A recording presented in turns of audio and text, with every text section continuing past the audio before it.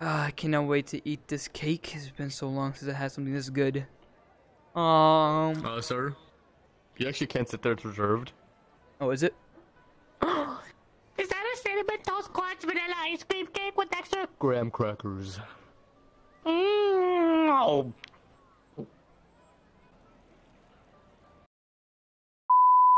Is that a cinnamon toast crunch vanilla ice cream cake with uh,